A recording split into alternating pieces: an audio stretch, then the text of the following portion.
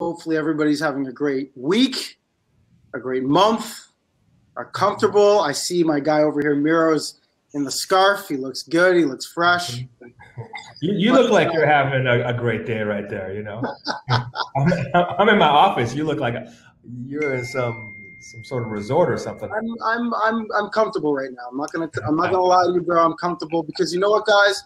This is a celebration of Black excellence. And I am so excited that we're able to have this conversation with probably, in my opinion, one of the forefront leaders in what we're trying to do with Black music, Black professionals in Canada, Miro Oballa, entertainment lawyer, partner, and uh, the, one of the co-founders of Advance. Thank you so much for taking your time and, and, and speaking with us. Yeah, of course. I'm, I'm excited to do this. So I wanted to uh, break this down into three parts. Mm-hmm. Um, of course, this is a season of Black excellence, so we want to not just talk about, you know, I think a lot of the time when we do these panels or these discussions, it's always a discussion of what's wrong. I really want to focus on what's right, what what's great, what shall we celebrate about? And today I want to talk a little bit about you first and the things that we should celebrate about you so people get a little a little bit of back information about Miro and what he's done and where he's been. Um, then I also want to move into a celebration of where our industry is as Canadian music, because a lot of the time we spend a lot of time focusing on America and what's happening in the States. Mm-hmm. Yeah. And I want to really celebrate and uplift what we've been doing here. And then finally, I want to get into what we've been doing and celebrate advance at its birth and where we're going into it in the um, in the future. Because from my end, as advance, I've been privileged to start working with uh, sorry with MMF. I've been privileged to work with advance as well. So, I wanted to start off talking about you, giving a little background. I understand that you grew up in Lagos and then moved from Lagos to Calgary. I spent a little bit. I moved. I spent a lot of my child, like early childhood in different places, like Germany, Slovakia, then Lagos for a few years, and then but mostly grew up in Calgary. Moved there in like '81, um, so I would have been seven at the time, and then pretty much grew up there until I moved out to Vancouver to start doing uh, doing law school up there. Right on. Yeah. What made you focus or was your focus immediately into the entertainment business or music when you got into law or was that something that changed i was i think i was figuring it out but it, it, seemed like one of the few areas that made sense for me where it was an area that i was interested in you know i'd always been in, into music and the arts and all of that and it just made sense that this would be a place where i could have a career like the idea of me having a career as like a you know a business litigator or you know, something like that, or even like a criminal lawyer, or whatever. It just didn't seem like a thing that I wanted to do. You know, that that that was not a thing that I was excited about.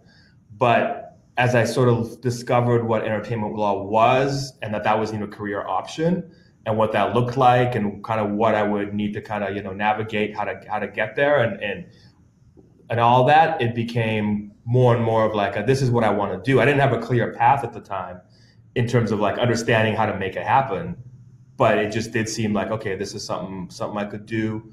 I ended up articling at a uh, big downtown firm called Goodmans, which is primarily a, a corporate firm, but it had an entertainment department. So I learned a little bit there through one of the senior partners, Michael Levine, who was very kind and gracious with his time and you know taught me a lot. And then ended up moving to a boutique firm, entertainment firm called Stone and Abramovich in 2002 and worked there with Susan Abramovich, who was the, the head partner there for a few years, and mm-hmm. then joined up with Chris Taylor here in 2006. And the firm's been the firm, you know, now for just celebrating, about to celebrate our, I guess, our 15th anniversary. So, for some of you who don't know, Chris Taylor is the uh, president for E1.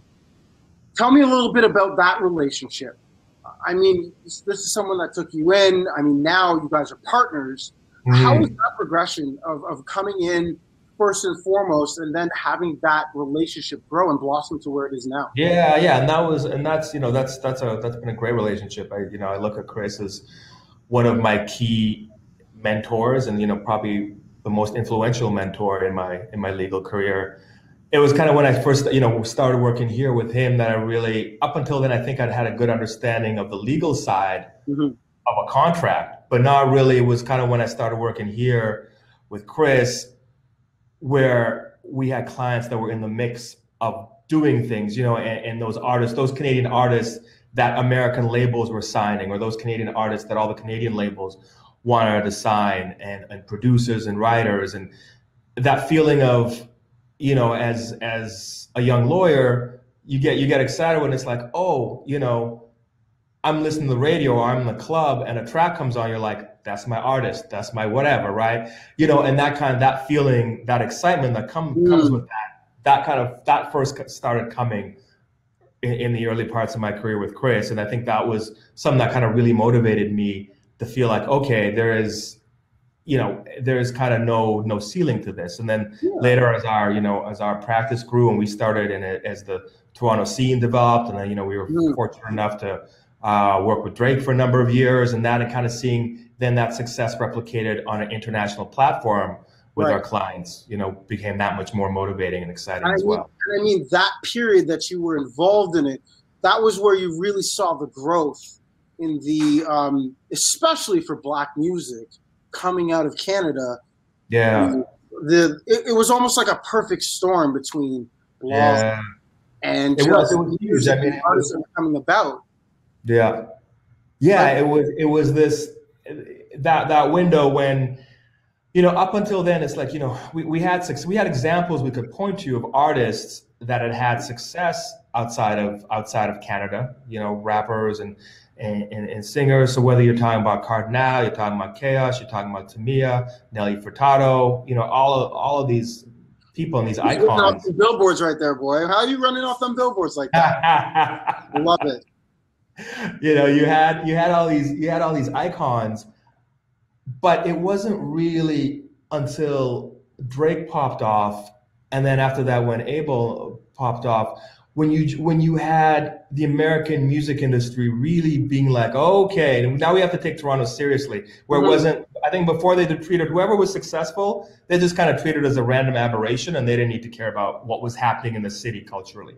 Right. Right. It was when that happened, then it was like, okay, Toronto's got a, an actual culture to. We need to pay attention to the culture that's happening in Toronto and what's that about, you know, and all of that, right? And then you had everything that kind of flowed out of there. You had all the OVO stuff with PartyNextDoor and everything else that they did. You had the XO stuff, and you had all the independent, you know, producers and writers and and artists that just that have flourished, you know, really in the city over the last little while. It's funny. I took I took a five year kind of Toronto hiatus to move to Vancouver to, to spend more time with my son. Mm. And um, he was was doing high school. So a lot of that sort of the second stage of the Toronto, kind of the flourishing of Toronto, I, I, I wasn't here for. I'm only kind of rediscovering that now when I when I came back to the city in uh, in the summer of 2019. So, when the boom happened, and, and you yeah. that obviously from a professional standpoint, did you start seeing because I'm sure you were you were dealing with a lot of international labels and individuals. Mm. Did you see that there was we were taken a little bit more seriously? What was your uh, take on how music and Canadian black music was taken from an international perspective? Yeah, well, one hundred percent. I mean, that was those were the times when you would I would start to get calls from American A and R's instead of the other way around. Like mm-hmm. in the beginning when I started, right? It was you know literally searching through an A and R handbook and like emailing a random A and R and like you know an Epic or something, being like, "Hey, my name is Miro. You know, I'm gonna be in New York. Can I come see?" You?" Right, that kind of thing. Um, to A&R is just hitting you up and being like, hey, so and so, you know, this is so and so from wherever. I'm gonna be in Toronto. Let's do a meeting or this or when are you gonna be in LA or whatever. And that there was a real kind of hunger, I think, on the American side to just, you know, to to figure out what's going on here and monetize it and yeah. and, and get involved. So that was a major, a major, major shift in that sort of the the beginnings of the two 2010s, right? That. Sure that kind of period. So I wanted to bring it back just a little bit and talk mm-hmm. a little bit about the culture of Canadian black music at yeah. that period. That that because you know one of the things, and you and I had a conversation a little bit earlier, and we talked about how you got a chance to really grow and and, and mature in this entertainment industry while the Toronto scene, especially, which was kind of like the epicenter of mm. uh, um, hip hop and R and B at that time, you got a chance to see that progression with the club scene and and and how it was being perceived. What did you feel when, as that was progressing, did you see that like, hey, this could be something really special? This could be something that we could celebrate, not just in Canada, but around the world. Mm-hmm. Yeah, yeah, one hundred percent. I mean, you know, like I said, I grew up in Calgary, and one of the when you're when you're from the West, one of the things that they kind of teach you, like subconsciously, mm-hmm. is to hate Toronto. Not hate is a strong word, but dislike Toronto. You know, like right. the West is very anti-Toronto. And then I came out here for summer. It was a summer '98, mm-hmm. and with, I didn't know anybody here. But within like a week, I was like, I love this city. Right? There's there's just something really magical and special to me right. about Toronto, about the way the cultures flowed in Toronto, just the, just the flow and the vibe of the city, especially the downtown. At the time, you know, Toronto was still, I think, a much younger city than mm-hmm. it is right now. Like from a cultural, culturally and just like swag and everything about about the city, which is very very different than. But it had this potential, right? And it's and watching that city kind of grow into its potential. You know, you mentioned the the, the club space and that that transition because you know so much of black music is about clubs, right? That's that's where you hear it. That's where it pops off. That's where all of that. And that kind of transition from that, you know, early 2000s period when it was all Richmond and Adelaide Street and Fluid and Red Drink Boutique and that whole kind of that vibe, then to the King Street, the move to King Street into like the mid 2000s, mm-hmm. you know, and then kind of everything that that happened out, out of there beyond. And we were involved. We had a club um, on on Bathurst and King for a few years as well, so I got to kind of see that see that piece firsthand. But it was always like this city I'm always kind of thinking this city could be so much more, you know, and, and, and you, as the Raptors, Raptors were kind of experiencing that same thing. It's like everything kind of happened in parallel paths, right? It's like you had the growth of the Raptors, you had the growth of the music scene, you had the growth of the club scene and all this kind of stuff. Yeah. And everything kind of individually just exploded at its, at its own time to the point where all of those things, you know, are now things that I think are taken seriously internationally. Right. Right. Right. And that, I mean, that shift you were talking about, like the Raptors and entertainment, it seemed to almost blend into the rest of the culture at that time and, and across Canada. You started yeah. seeing a lot of, you know, individuals from the East Coast to the West Coast just really buying into the idea that hey this could be something like you said this could be something really special and that's great and one of the things I, I love that you touched on was the fact that the music grew in with the club scene.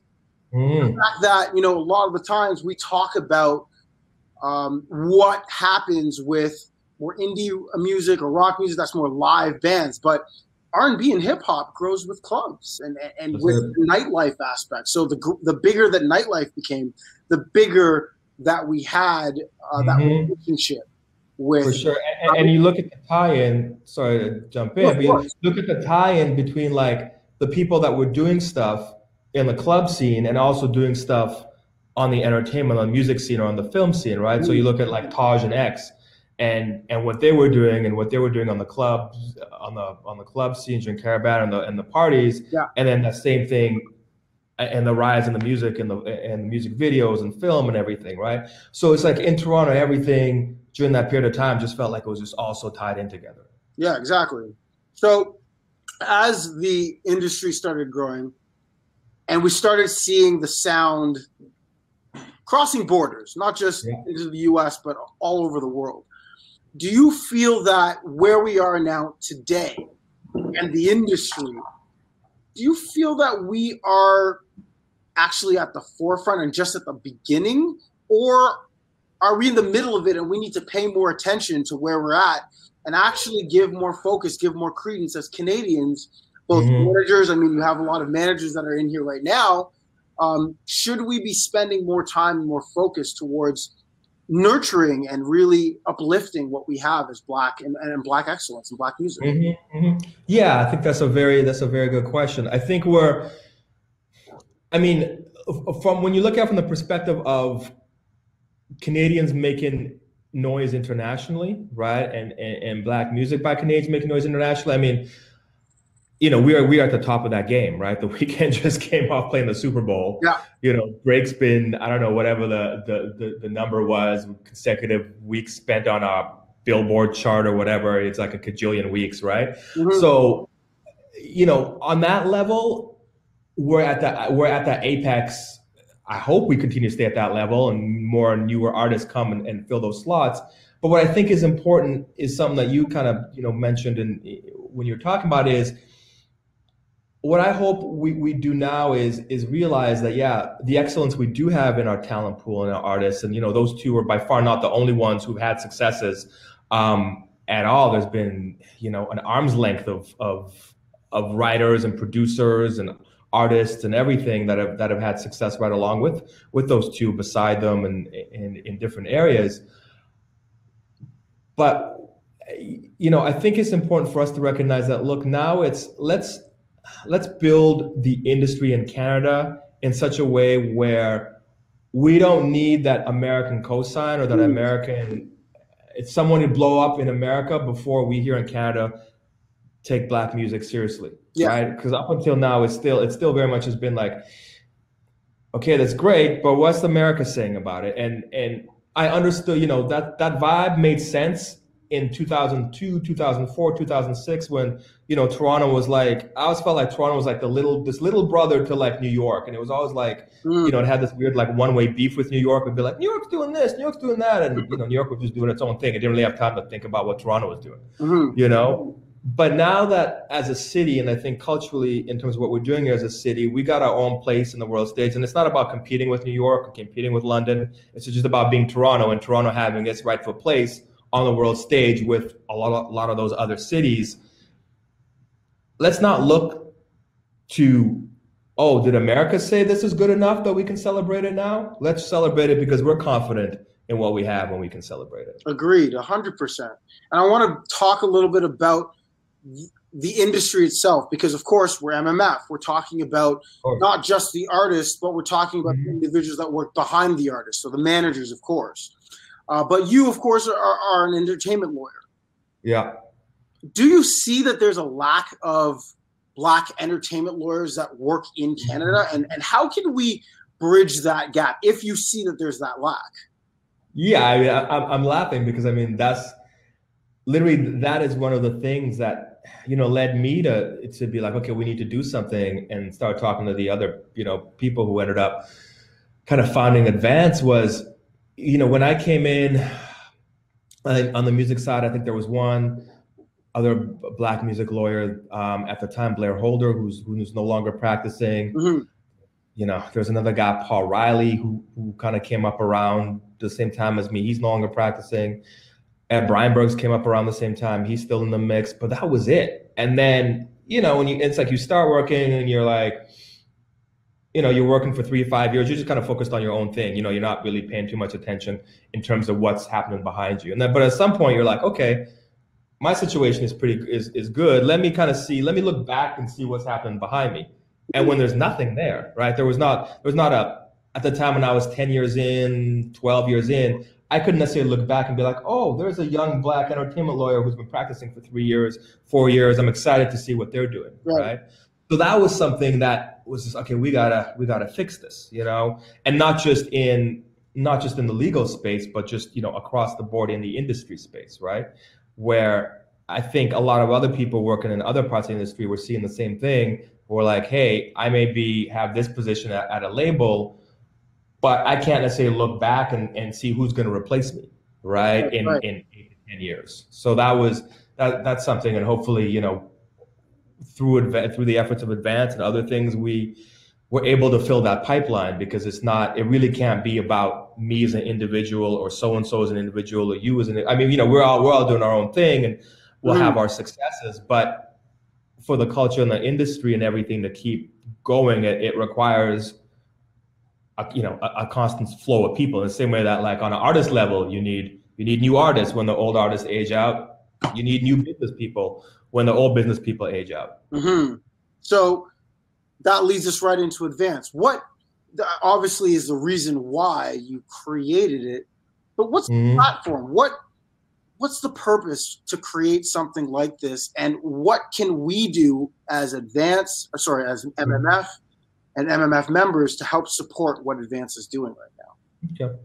So, I mean, fundamentally, you know, Advance is it functions on a couple levels, right? I think one of the chief levels is as an advocacy, as a unifi- unification and advocacy mm-hmm. organization for Black people who are in the music business, right? So a way for everybody to kind of be like, hey, a connect because I think a lot of times, you know, you end up everybody ends up in their own silo in in many ways. So this is a way for people to connect, to talk about the issues that matter to everybody, to align on common goals and, mm-hmm. and plans to interact with you know the other organizations that are that are out there like mmf you know like factor like ontario creates music bc what have you um, and and advocate for black people within within the music industry right? And so that's one side of the coin. And the other side of the coin is you know what we were talking about before. It's like the making sure that that pipeline of business people is there because if you don't have qualified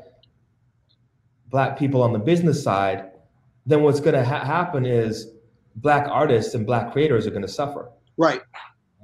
Because you know, e- either either what happens is they've got they've got a representation that isn't properly qualified to represent their interests properly if they're you know or they may end up with they may end up with representatives that may not understand all the you know all their issues or concerns or this or, or what have you, right? And that that's that's one of the things is that you know if you're gonna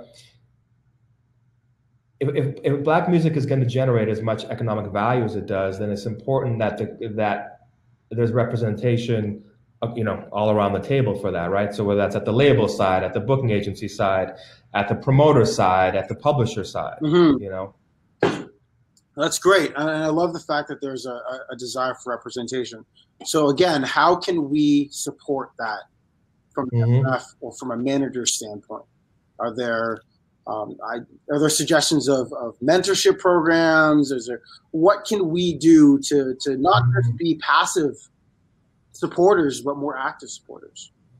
Yeah, I mean it, it's collaboration. So you know one of the things that you know we've been thinking about is is doing doing a doing a co-event with MMF because managers managers you know next to artists next to creators ma- managers probably the next most common job that's out there right? Because every every creator needs a manager right. for the most part right? And so you have a lot of managers and a lot of a lot of managers who who care and want to do the best for the clients and and, and see their people win and make money and all of that but may not have learned you know there's not like there's not a really i mean there's some schools you go to but for the most part you know i think you management is a thing you learn by doing or learn by working with somebody else who's doing mm-hmm. right? Those are the best ways to learn as opposed to you know going to a class about it right? So mmf being invested in in the process of passing knowledge down you know to new young up and coming managers is a is a way that you can help right? And that the and that we can kind of work together and get make sure that the goals that we're trying to do are aligned. Right. So so teaching the next generation, instilling yeah. the same things that a lot of us managers understand and know thanks to you know what we've learned basic basically throughout the industry and also what we've learned as MMF and, and, and as the community and mm. making sure that's being sent over to that next generation. Absolutely. And, and I, I agree with that because I think that that is something that will really create more of a sustainable industry. Because a lot of the time a lot of managers that start off in our business are just doing it because they're best friends or because yeah. they have to be happen to be around at that same time. And through sometimes success and sometimes failure they learn mm-hmm. the ropes of how our business works we want to change that.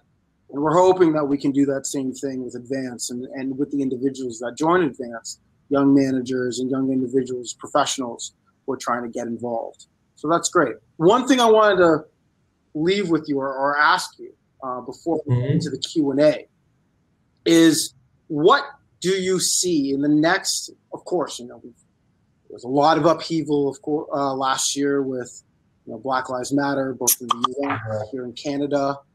Uh, we've also seen, you know, great progression here in Canada and, and the uh, institution of Advance and other institutions and other organizations. What do you see for our next few years? What's the landscape for us? And what can we do to make sure that we're not passive about and that we take a more uh, impactful stance towards making a difference? I think it's you know it, it it's a it's just about being active, right? So I you know on our on the advance end, you know I'm very excited that on Monday we're going to be announcing our executive director, right? So mm. that's that's something that Great. you know for for a long time because we just you know we started the organization in June when we are we've been talking about doing it earlier, and then COVID happened. It was just like okay, nobody's going to have time for this. Like no one's going to have the bandwidth to care mm-hmm. whether we think it's important or not. And then you know when the unfortunate murder of George Floyd happened, it just seemed like all of a sudden it was like okay, this is this is the time to to put this out. But it, then it was really about okay, let's let's roll. We just kind of hit the ground running and have just been running in terms of like getting our deal with the city sorted out, getting our deal with the city and Slaight sorted out, getting. Um, which is a big thing again, and congratulations on that. That was a big moment. Thank you to really see yeah. that organization between the city, Slaight Music, and some of the major yeah. labels coming together and saying, "Hey, we support you." So again, congratulations. Yeah, yeah, that was that was really powerful, and it felt felt really good to know that that that that support was there. Um, and then just kind of running, you know, and, and trying to get pull, pull some membership together, pull some people together, pull some committees together, and trying to get the ED process rolling. And you know, at the same time, everybody's got full time jobs and, and, lives, so it's um, it, it feels good to know that okay, you know, now we'll have somebody who will be, you know, full time, probably full time plus, um, you know, working working on this and really helping advance. Sorry, the the pun, but advance our goals, right? Because one of the one of the things that's been great about this is just seeing how passionate and invested people are, right? right. So that you know, everybody, yourself included, man, you know, we're coming every week to the subcommittee meetings, right? And, and we're spending spending an hour, two hours talking about things, setting up plans, and it's just that you know the follow through on the follow through on those plans, the initiatives. We've got a lot of exciting initiatives, community based initiatives mentor-based initiatives, industry-based initiatives. And it'll take, you know, because of COVID, it'll take. Uh, it's not going to be the smoothest path necessarily mm-hmm. for, some, for some of this stuff, but definitely the, the passion is there and the the intent is there, and that's what I'm excited about. Is is to is to see all that transform transform into action. You know, even even in the in the short period of time that we've been around in conjunction, you know, with our efforts and working, you know, particularly people who, who work at the major labels that are part of Advance, there's definitely been a major uptick in the amount of Black people who've been hired, you know, to positions within within those that that part of the a industry. really big statement. Right? A really big statement. Yeah. So, Miro, I can't thank you enough for taking the time. Yeah. To really, you know, talk and, and and share the information of what we're doing. Again, this isn't about talking about what's wrong, but this was just more sharing information of the great aspects of what's happening in our culture, in our community today, yesterday, and what's going to happen for us in the future. And so we really appreciate the time. Um, know that yeah, we have a lot of individuals here that might have some questions. Would love to hear some of the questions. Uh, I see Ty wants to know about the robe. Ty, know, it's a moment of black excellence. I'm gonna I'm gonna dress for excellence. This is a this is excellence outfit. Okay, that's what we're doing here. Uh, but the question that we had from Andrea is that what do you think is the key characteristics for leadership in the music business? I'll let you start that, Miro. Okay. Okay. Um, I think you need to be decisive, right? You know, the music business moves fast, right? And you, you you gotta you gotta be willing to make a decision and and live or die by that decision, mm. right? And you know you're not gonna be right all the time, and when you're wrong, you gotta learn from why you were wrong, and hopefully not be wrong for the same reasons the next time. Mm.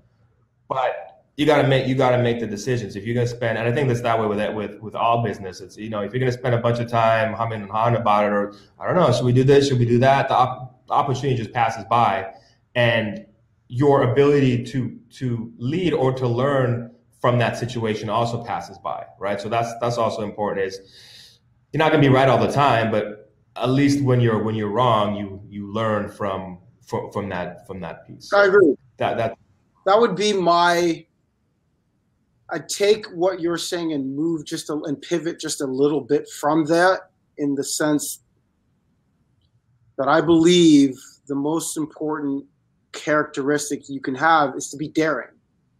know that yes. a lot of the times, if you're trying to lead something, most people are not going to agree with you. Actually, most people will stifle you. They'll try and tell you, "Hey, yeah, yeah, we've tried that already," or mm, "I don't really think it's going to work." To really be a leader in what we're doing in this business, you have to know you're going to be alone a lot of the time, and be okay with that, and know that at the end of the day, if you stay true as like what you're saying, if you have all your facts, you know where you're going, it will work out in the end. And being confident in that is really important. We also have another question that asks Can you talk about a time when you experienced racism at work and how you handled that? Mm-hmm. Yeah, I can start with that one. I mean, you, you know, I, I think on for, for on my end, it's ne- it's never necessarily been something direct but it's always you know it's always that and I gotta I gotta figure out the, a better way of kind of framing this. This, this no, will keep it, you know, but it's like the in the beginning. I think what it is, it, it's the struggle to be seen, right? It's the struggle to be seen and recognized and taken and taken seriously, where there's that feeling of somebody looking at you and being like, mm, "You don't matter to me because I don't deal in hip hop. What do I need you for? Right? That kind of that thing, and, and that the the the the, sort of getting put in a, in, in a certain box because of your race, and, and not like I said, not being taken seriously. And you know that that that took a while. There you know, it definitely took a while for that to break through that. And then at some point, people are like, "Oh shit, you're still here." Okay, all right. That I understand all too well. The idea of, oh, wait a minute, you're still around. Yeah. Yeah. Of course I, why wouldn't I be? That's it. And I think, you know, when you're talking about, and I think, look, one of the things that is important to me, you know, when we're talking about black excellence, right? I think the the reality is right now, I think just to often just to exist in the music business and be black, you the level that you have to be at is excellence, right? but that's I don't think that you know excellence is great, but not everybody's going to be excellent. Most people are just going to be good or pretty good or even great, and I think that's fine. You know, I, I think that that is that's probably a more universal bar for everybody else, right? It's like there's going to be some people who are excellent and are going to get get to some other higher level, but you can't the, the bar just to get in the room can't be excellence you know because it's not that's not I don't, I don't think that's what it is across the board. I'm, I'm with you on that. It's for me the can i think of a time when i've experienced racism? It was it's that same thing. It's oh you're still here. Do i think it was racism? Not necessarily. I think it's also about experience and yep. i think the shared experiences or or helping the individuals who are starting off that doesn't really happen a lot for indi- uh, individuals who start off in hip hop or R&B. Yeah. And to me that's a problem. For example, the amount of knowledge that you and I already possess when it comes to Canadian musicians and the grants and the opportunities that we have thanks to Factor, thanks to Ontario Music Fund, those in those things were not shared to us. These are things that we had to learn because we were involved with people who were doing that. Mm-hmm. So for a long time, that information wasn't really dispelled and, and sent and dispersed to the individuals that look like us. That to me was a problem.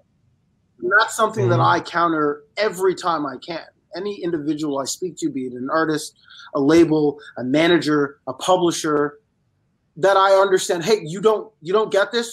Here's all the inf- in- information you need. That's what we're doing with MMF. We're making sure that there's as much information as possible. We're going to underserved communities, being it BIPOC communities, being it LGBTQ, be it women, to understand that hey, there's there's an opportunity for you, for your clients, to make a, re- a great and sustainable business. That's mm-hmm. something that to me is not just racism, but it's, it's definitely from a lack of an experience the next question that we have is what would you say to inspire other black music professionals to stay strong in these times and stay focused um, i would say if this is what you're passionate about, this is the best. This is the best time for you, right? You know, this is there's if you want to go back in history, there's not a better time in in the history of Canadian music to be doing what you want to be doing than mm. right now, right? You know, in in the sense that the industry you're you're stepping into the situation where the industry, you know, everybody who comes next has the benefit of the people who came before. You know, we had the benefit of the people who came before us, and they had the benefit of the people who, who came before them. So all of that is there. And, and, and knowing, you know, especially now as we're working on the infrastructure that we are with Advance, that there are people who are willing to spend time with you, educate you, answer your questions, give you advice, be like, don't, you know, go down this road. This is a good road. That other road, mm, you might, you know, you might end up in a place you don't want to go when you go down that mm. road. You know, all of that kind of, all of that kind of thing. I think that's that that's valuable. You know, perspective um, always helps. You know, and I think, yeah, not not getting caught up in in, in kind of spinning around in circles and getting distracted, right? Having having the having the focus on what you what the long term goal is that you're trying to. Agreed. Achieve. Perseverance for me. Just mm-hmm. know that the individuals that came before you persevered in their own fights and in their own battles, and they're here today. COVID is definitely not something that any of us have ever experienced. However, we all have that fortitude. It's there. It's instilled in us. It's in our history. It's in the individuals that are around us, and we can move through that. So perseverance for me is the advice that I would give to inspire young black music professionals. What advice, another question is to you, Miro, what advice do you have regarding finding and connecting with black creatives and industry members for someone who comes from a place where there aren't as many black people? The internet. exactly. Yep. You know, I mean, that's like I, am joking, and it, but I'm not. I mean, you know, that the beauty of the internet is is is that is that communities exist outside of your your physical your physical location, and, and obviously, you know, community is is is much better built in, in, in a physical space where you can interact with people in a full in a full three dimensional way. But you know, if, if there's anything that I think if there are any skills that we will all learn out of this COVID experience, is a better ability to build communities without needing three dimensional space because it's three dimensional space has been taken mm. away from us for you know a year and a half, right? So that's it because there are and and know that for every person who's who's who has that feeling like you do, you know, you wherever and and and I know you are, but I'm not going to out you. Um, you know, where where where you where you're right. living, um, and you've got you've got that feeling. Know that there are other people in other cities, you know, in in North Bay or in Fort McMurray or in you know Prince George or wherever that are feeling the same way and are, and are feeling as much, if not more, isolated, and are all looking to build that community. So, you know, try as it sounds, I think community is where you build it? You know, with who, with who I you think you said it, it best. Uh, let's move into the next question. Are there any key things an artist would need to let go of in order to thrive in the industry? I feel like you're you're the manager, man. You should you you, you take this one. I think you can take this one too. What would they need to let go of? For me, is their ego. You need to yeah. understand yeah. that this industry continues to evolve, change. You can't think that just because your music is great and your friends like it, that it's going to do something. That's the equivalent of thinking, I've got a restaurant, I've got good food. If I open the door, people will walk in. It's impossible, mm-hmm. right? Our business yeah. is a business. And to attract individuals to come in, you need to have something that is tangible to the people that you want to attract. I didn't say if you want to be famous or a superstar or you need to do antics. I didn't say that. I said the individuals that you want to attract, you need to know how to get to them. That is the thing that a lot of artists don't do. They think that just because the music is good, it'll reach them. Mm-hmm. That's not how it works. So I would yeah. say let go of your ego and figure out what is it that the people that I want to reach, where do they hang out? What do they listen to? What do they read? What do they watch? And from there, you might get a better idea of how to reach them with your music and who you are. Mm-hmm. I agree with that. Right. And I would also I would add to that, it's kind of the same thing as expectation. You know, I think the impatience that comes with why am I not famous now? Why am I not famous now?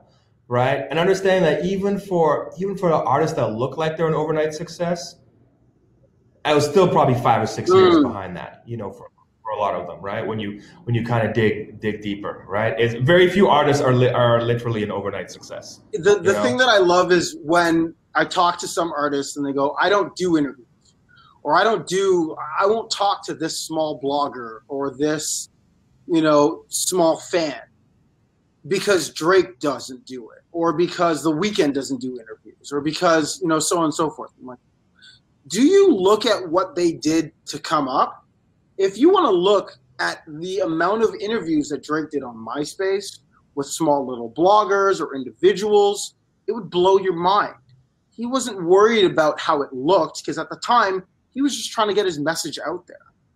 So this idea, yeah. and again, it comes down to ego, is stop looking at what that person does as oh, well. It's not Rolling Stones, it's not the Star or whatever, and just look about getting your message out there to individuals who are willing to listen, and then from there, maybe it'll turn into something else.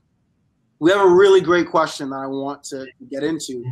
If you have a concept or an idea that you believe could help create and actionable items to address breaking down some of the racial barriers in our industry. Who or how do you go about getting to the table with Advance?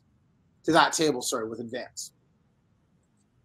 So I think the easiest thing to do would be to email us at uh, connect at advancemusic.org as an initial. You know, once we once we announce our ED on, on Monday, then you know that's a, that becomes a direct person that uh, that people can can reach out to. But for now, that's the that's sort of the general email address. You know, invite you to become a member of Advance.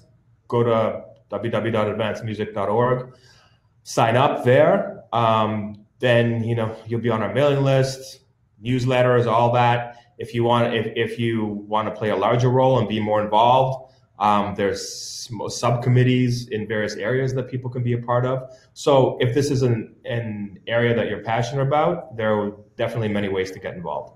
But I think as, as an initial thing, go to the website and you know send an email to connect at advancemusic.org. Miro, I appreciate you for what you're doing in the entertainment law space. I appreciate you what you're doing with Advance and creating this organization that's really helping moving forward the initiatives of black creatives and executives in Canada. And I appreciate you as a black man here in Canada and what we're trying to do. So thank you again for being here with us, for being with the members here at MMF. And um, thank you guys also for listening. The questions were fantastic. Yeah. Um, and yeah, I, I send it over to Gab and to Andrea. Let us know where you guys want to go from here. Thank you again.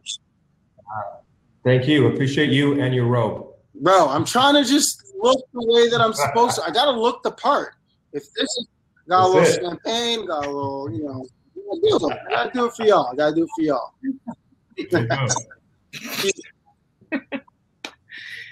Thank you. Wow, that was like I feel like if we could clap, but it's all like online. So thank you very much, Miro and Jermayne.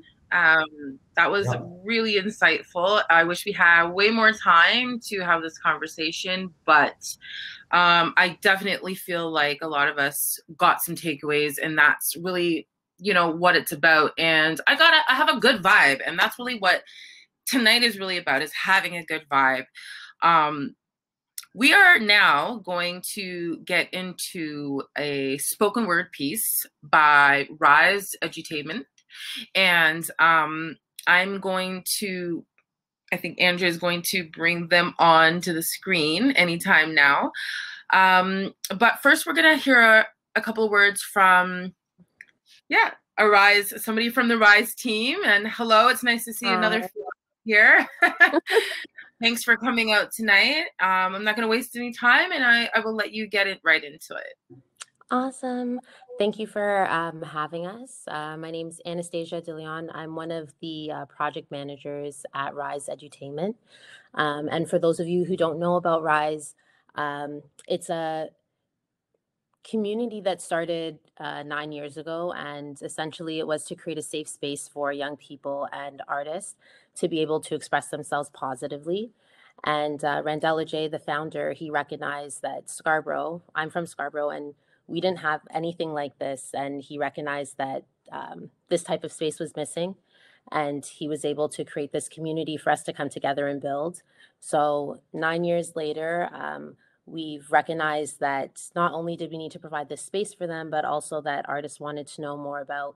Um, they needed more education. Um, they wanted to know more about uh, developing their business acumen, more about the art um, industry in general, as well as just developing themselves as uh, a professional artist. So we've done things like the Edutainment Summit, which is a three day summit dedicated to um, helping artists bridge the gap from emerging to professional, as well as other uh, workshops that provide not only um, artist tools, but just from a holistic lens, wellness, um, and just an educational piece um, in general.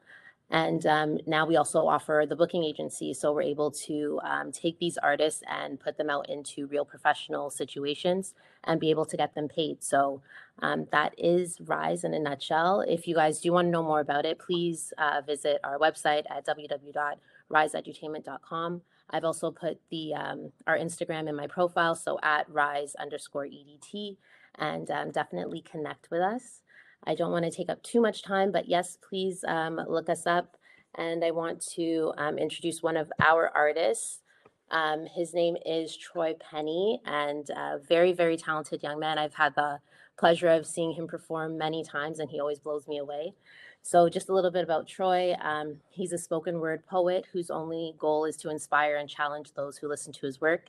He enjoys speaking on issues that many individuals experience from a different perspective. His style comes from hip hop culture, which is why a few of his pieces have a rhythmic, rhyming flow to them. And ultimately, Troy just wants his art to create change in one person's life. So without further ado, I give you Troy Penny. Thank you very much, Anastasia. You're welcome. Um, I just want to uh, express the impact that Rise has had on on me personally as an artist. You know, whenever I go to Rise, I always feel like there's a sense of community and it's it's a safe space for me to express myself creatively. And I have a lot of friends who are trying to who would be trying to, you know, get into um, just performing and stuff. And I always point them towards Rise because it's always a, a, a welcoming place to um to be at. So today I just want to share a piece called Found. And I hope it touches somebody today. you know, I was 22 years old when I first felt lost. Like like my purpose in life was non-existent. I had been waking up every day knowing that at night I'll be going to bed further from my life's destiny. The thought killed me because I knew deep down inside I had the ability to do great things. I just, I just couldn't find it. You see, sometimes lost means let's observe some things. Keyword observe. To observe effectively means to slow down. It means you may need to come to a complete stop in order to fully grasp what's in front of you. At the crossroads, we are met with many choices, decisions that will impact the rest of our journey. So I ask you, what path will you take? You want to chase after your passion with everything you've got inside you, even when you've hit the bottom of your tank's reserve, or you want to give up on our dreams? Find a comfortable job, where you're never happy, never satisfied, never challenged, because existing without purpose will always be the path of least resistance. Hey, listen, center yourself, calm the worry, breathe, permit your eyes to color black. Allow your heart to speak. Let your mind wander in the pasture of possibility. When you're ready, call it back and ask what it has in its hands. It will show you. The conscience has a debilitating condition called truth. It's what plagues you now. It's what keeps you up at night. It's what you need to face if you ever want to be cured, but you're still salty, so you dash your pearls before swine instead of understanding its value, young one. Find your purpose again, your path for your life, the one you discovered as a child the one you'd always run to after the world chopped you down. It walked through the woods while she was slumbering. It removed the dead leaves around your trunk. It ran its hands across your essence and found a pulse. It carefully carved you from oak and breathed life into you. So why haven't you cut the strings of your puppeteer parents yet? They lied to you about the realities of life. No one knows its length nor the secrets hidden within itself. It whispered in your ear, you are capable. You have purpose. You are found. Your destiny cannot be destroyed because it is hidden deep within the chambers of the temple within you. It refuses to be torn asunder. Now, now at 26, I can't tell you that I got it all figured out. What I can tell you is that this path feels most familiar. I was born to do this, built to be great bred a beast. Familiarity is destiny's compass, so use it, not as a guide to traverse the cavern of comfort, instead, go in the opposite direction, the one where distress dwells and worry wanders, where uncertainty permeates the air and you are dying to breathe. You cannot advance towards achievements and accomplishments without an intimate understanding of ineptitude and inadequacy, so run towards towards failure with reckless abandon because it is the beacon of success. And as you go, think of who you're doing this for. If the person that comes to mind is yourself, you've already lost because self is a dangerous being. Self can be mean. Self can hurt. Self can sabotage because self knows in its current comfortable state it's not prepared to be something other than self. That's why self needs to be disciplined because self will always control those who fail to control self. Ain't it funny? How we hate what we don't understand. So when we see something within ourselves we don't recognize, we destroy it instead of we destroy it before it has a chance to flourish into something of substance. Don't snap. Fix that. Instead of thinking of how to build yourself up, think of how you can reinforce those around you because in this twisted thing called life, it's always hurricane season, and too many homes are not built to code. They waver when wind blows. So, how do you expect them to survive the gale force winds? Help them. That way, you'll never run out of work. And you'd always be surrounded by the fortresses that you have constructed. Listen, I know the ropes because I've hung on them through many fights. I cling to hope because that's what kept me going through the nights. Our worst enemies can be our own memory. So focus on the task at hand and forget about them. Young one, do not let anyone sweep you off your feet. You are not dirt.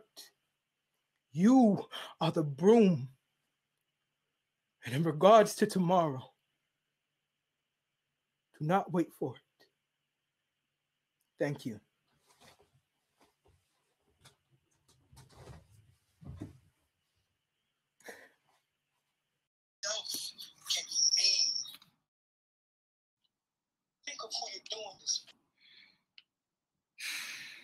Thank you. Thank you, Troy. That was uh that was very, very, very powerful. And um that was wow, I'm a little bit speechless. So I'm gonna read out some comments in the chat because I really appreciate the emphasis, the power, the love, the passion that went into that, the excellence, the black excellence that came from your soul and went into that. Thank you, Troy. That was like that was perfect. This night has been perfect. um wow, let's see. Dude is on some next level stuff. Clap, clap, fire, fire, bang, bang. you're the you're the broom, someone said. sweep, sweep. um all right, guys, we are going to get back into um, some networking. Um, and I guess we're going to go to the floor. I just want to th- say thank you to uh, Miro um, from Advance. Thank you to Jermayne. Thank you to everybody who helped put this together. Um, to everybody who's still here hanging on. To Rise, the whole Rise team. Um, and to Troy, thank you. I hope you guys. I hope I, like I hope you get some some gigs from from tonight. Please make sure you hit him up. He's wow, that was phenomenal. That really touched me, and I'm sure it did a lot of other people. Many blessings to everybody. Let's go back to the floor. Let's get some our networking on. Feel free to talk to everybody. Feel nice. Take a little break. And also, there's a few other events going on tonight. Um, songwriters in Canada I believe. Sorry, don't hate me. But tomorrow, Advance is hosting a really, really intimate and interesting um, um, video series. Um, it's starting with an amazing woman who is part of our MMF family. Her name is Kat, and she is going to be kicking off their series. It starts at 1 p.m. tomorrow, I believe. So make sure you go and check out Advance on YouTube. Um, and yeah, I'll see you guys at the floor. Thanks so much. Talk to you soon.